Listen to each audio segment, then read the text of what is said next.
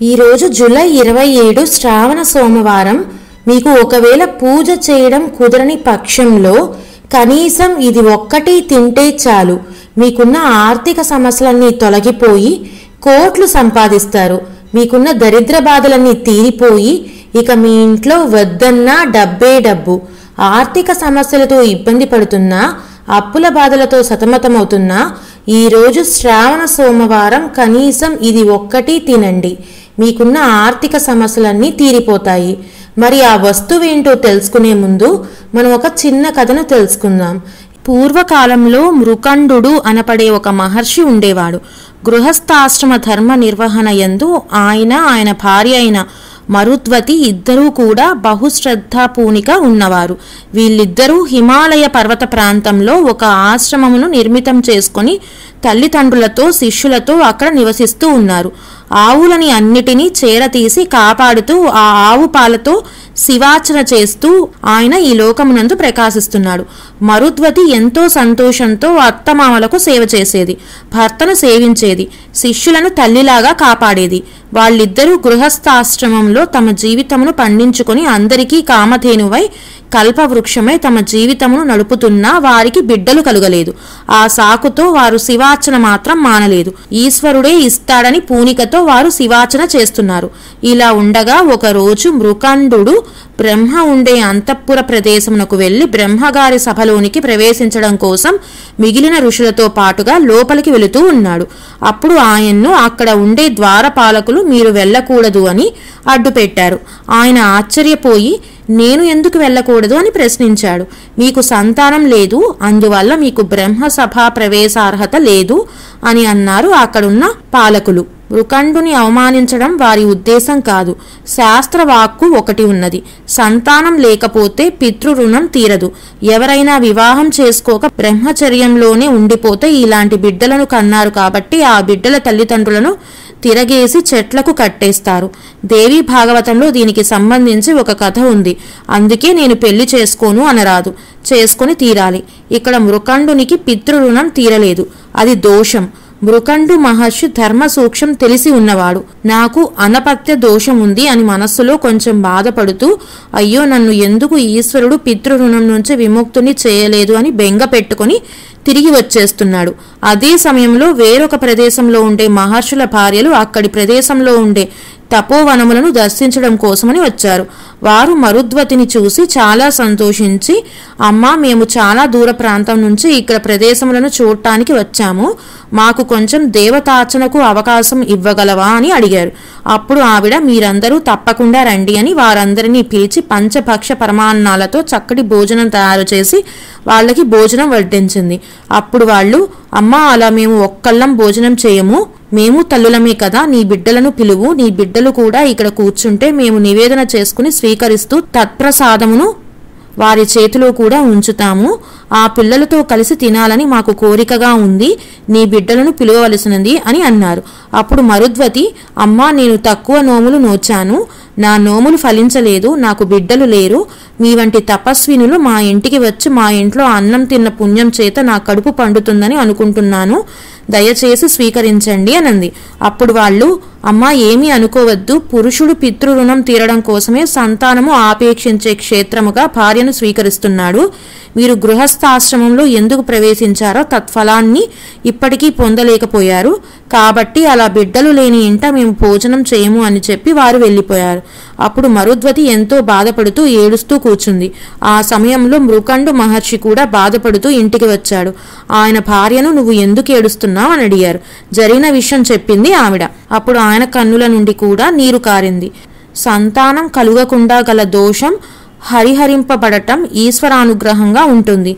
ప్రత్యేకించి సుబ్రహ్మణ్యుని అనుగ్రహం మీదని వంశవృద్ధి ఆధారపడి ఉంటుందని శాస్త్రవాకు అందుకే సుబ్రహ్మణ్య ఆరాధన అంత గొప్పది.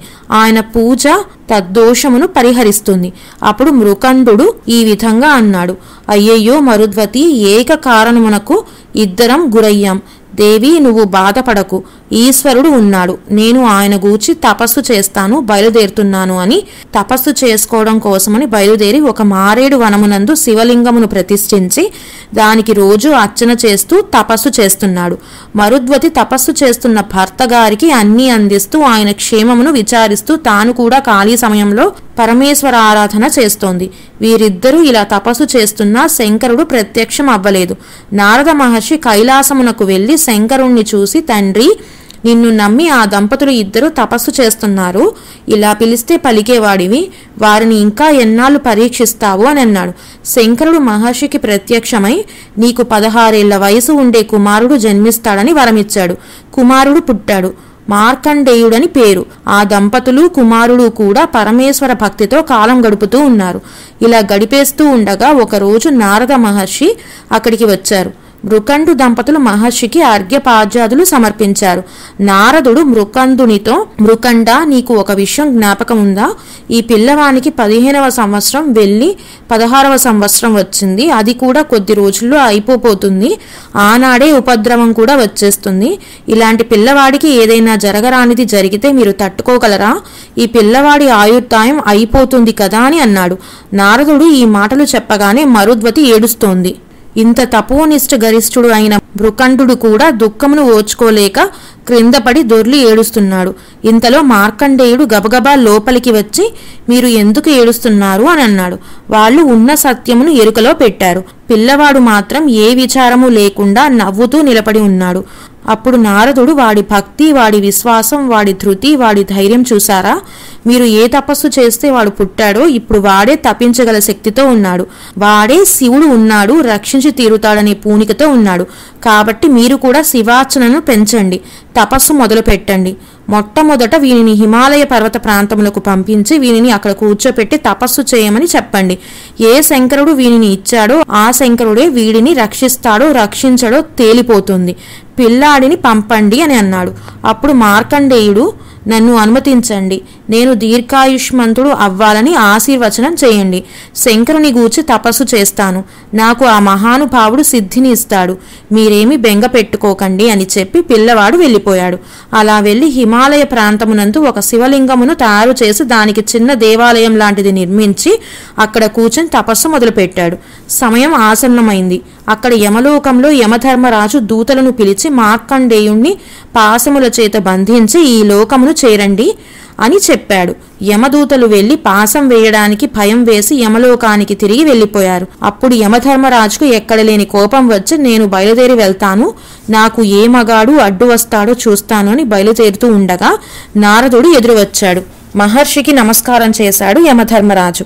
అప్పుడు నారదుడు ఎందుకయ్యా పంతాలు పట్టింపులు? వాళ్ళకి ఉన్నది ఒక్క పిల్లాడు. మహర్షి కదా పుత్రభిక్ష పెట్టిన వాడవు అవుతావు కదా అని అన్నాడు. నారదుడు ఇలా అనేసరికి యమధర్మరాజుకి కోపం వచ్చేసింది. ప్రాణములు తీసి తీర్తానని దేవాలయం దగ్గరకు వెళ్ళాడు. అతన్ని బహిర్ముఖుణ్ణి చేస్తే సరిపోతుంది అనుకొని బయటకు రా నేను యమధర్మరాజుని నీ ప్రాణములు తీయడానికి వచ్చాను అదే నీకు మోక్షం బయటకు రా అన్నాడు. అప్పుడు మార్కండేయుడు ఓరి పిచ్చివాడా నీకు కూడా ప్రభువు ఎవడో? వానిని నేను ఆరాధన చేస్తున్నాను. నేను ఈ శరీరంతో ఉండిపోవాలని కాదు నా తల్లిదండ్రుల కోరిక తీర్చడానికి ఈ శరీరంలో ఉండాలనుకుంటున్నాను. అలా ఉండేటట్లు చేయమని పరమశివుణ్ణి ప్రార్థిస్తున్నాను. నేను ఆయన్ను ఆరాధన చేస్తూ ఉండగా ఫలితం ఆయన ఇవ్వాలి తప్ప ఇవ్వడానికి నువ్వెవరు? నీకు చేతనైతే ప్రాణాలు తీయి అని అన్నాడు. యమధర్మరాజు గారికి ఎక్కడలేని కోపం వచ్చేసింది. చేతిలో మిడిసిపోతున్న యమపాసమును విసిరి లాగుతున్నాడు. పిల్లవాడు భయపడకుండా శివలింగమును కౌగిలించుకుని చంద్రశేఖరునిపై అష్టకం చదువుతున్నాడు. అలా కౌగిలించుకోవడంలో కంఠమునకు పడిన పాసం శివలింగమునకు తగిలింది. అంతే ఒక్కసారి శివలింగం పేలిపోయింది. వామార్థ భాగమునందు పార్వతీదేవితో శంకరుడు ఆవిర్భవించి తన ఎడమకారి పాదంతో యమధర్మరాజు వక్షస్థలంపై ఒక్క తన్ను తన్నేటప్పటికి యమధర్మరాజు నేలపై విరుచుకు పడిపోయాడు అప్పుడు శివుడు తన చేతిలోని త్రిశూలంతో ఒక పోటు పొడిస్తే యముడు మరణించాడు. పిమ్మట మార్కండేయుని వంక ప్రసన్నుడై చూశాడు. ఒక్క వరం కోరుకో అన్నాడు. మార్కండేయుడు ఇరువురికి నమస్కరించి నేను ఏ కోరిక కోరను పాపం యముడు తెలియక పొరపాటు చేశాడు. ఆయన్ను బ్రతికించండి అన్నాడు. అప్పుడు శంకరుడు ప్రసన్నుడై చూడగా యమధర్మరాజు మళ్ళీ లేచి నమస్కరించి స్వామి నువ్వు వరం ఇచ్చినప్పుడు ఈ బాలుడికి పదహారు సంవత్సరములు ఆయుర్దాయం మాత్రమే ఉంటుందని చెప్పావు. నేను చేసిన దోషం ఏంటి? చెప్పవలసింది అని అన్నాడు. శివుడు మందహాసం చేసి నా హృదయం నీకు అర్థం కాకపోవడమే నీ దోషం. ఎప్పుడూ పదహారేళ్ళు వయసు ఉండే పిల్లవాణ్ణి నేను వాళ్ళకి ఇచ్చాను. నువ్వు పదహారేళ్ళే అర్థం చేసుకున్నావు. అందుకని ఇలా జరిగింది. ఏమీ బెంగలేదు. వెళ్ళు అని అన్నాడు. మార్కండేయుణ్ణి చూసి పార్వతీదేవి పొంగిపోయింది. వీడికి మంచి వరమును ఇవ్వవలసింది అని చెప్పింది భర్తకి. అప్పుడు పరమేశ్వరుడు ఈ లోకములు అన్నీ ఎప్పుడు ప్రళయ సముద్రంలో మునిగిపోతాయో ఎప్పుడు వటపత్ర సాయి తన బొటను వేలితో నోటిలో పెట్టుకుని చీకుతూ ఒక మర్రి ఆకు మీద పడుకుంటాడో అప్పటి వరకు చిరంజీవి అయి ఉండి మార్కండేయ ఆయుష్ అనే కొత్త ఆయుష్ను సృష్టించి నీకు ఇస్తున్నాను అని అన్నాడు. అందుకే మన వాళ్ళు పూర్వం పిల్లలకు నీళ్ళు పోస్తే నాన్న నీకు మార్కండేయ ఆయుష్యురా అనేవారు.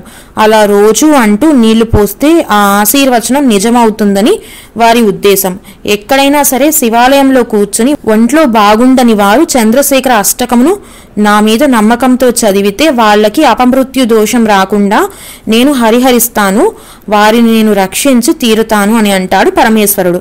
కాబట్టి చంద్రశేఖర అష్టకం అంత గొప్పది. ఎవరైతే ఈ చంద్రశేఖర అష్టకమును నమ్ముకొని ప్రతిరోజు ఇంట్లో చదువుతూ ఉంటారో. అలాంటి వాళ్ళ ఇళ్ళలో నుంచి అకారణంగా సమయం కాకుండా అపమృత్యు దోషం వలన బయటకి శరీరములు వెళ్ళవలసిన అవసరం లేకుండా నేను వాళ్ళని వాళ్ళ వంశములను కాపాడతాను. ఇది చదివిన వారికి దీనిని విన్న వారికి అపారమైన కీర్తిని తేజస్సుని ఆయుర్దాయాన్ని నేను కృప చేస్తున్నాను అని అన్నాడు పరమశివుడు. ఈ అష్టకం ఎక్కడ చదువుతారో అక్కడ అంతా శుభం జరుగుతుంది అని వరమిచ్చాడు పరమశివుడు. అంత గొప్ప అష్టకంతో కూడిన ఈ మార్కండేయ మహర్షి జీవితమును ప్రత్యేకించి మాఘమాసంలో ఎవరు చదువుతున్నారో వింటున్నారో వారికి పరిపూర్ణమైన శివ కటాక్షం కలుగుతుందని శివపురాణం అంతర్గతమైన వాక్కు. ఇక వీడియోలోకి వెళితే ఎవరైతే ఈ జూలై ఇరవై ఏడు శ్రావణ సోమవారం రోజున మనం ఈ శ్రావణ మాసంలో ప్రతిరోజు కూడా పూజలు చేస్తూ ఉంటాం కానీ ఒకవేళ అనుకోని కారణాల వల్ల మీకు ఈరోజు పూజ చేయడం కుదరని పక్షంలో కనీసం శివునికి ఎంతో ఇష్టమైన కలకండను మీ నోట్లో వేసుకోండి. ఈ విధంగా మీరు నోట్లో వేసుకుంటున్నప్పుడు సాక్షాత్తు ఆ పరమశివునికి మనం ఆ కలకండని మన మనస్సులోనే నైవేద్యంగా సమర్పించి ఓం నమ శివాయ అనే పంచాక్షరి మంత్రాన్ని ఒక పదకొండు సార్లు ఉచ్చరించుకొని ఆ తరువాత ఆ కలకండని మనం కళ్ళకద్దుకొని తినాలి. ఈ విధంగా ఎవరైతే ఈరోజు శ్రావణ సోమవారం ఈ పరిహారాన్ని పాటిస్తారో వాళ్ళు సాక్షాత్తు ఆ పరమశివుని యొక్క కృపా కటాక్షాలకి పాత్రులవుతారు. ఇక వాళ్ళ ఇంట్లో లక్ష్మీదేవి అడుగుపెట్టి వాళ్ళని అపర కుబేరులను చేస్తుంది.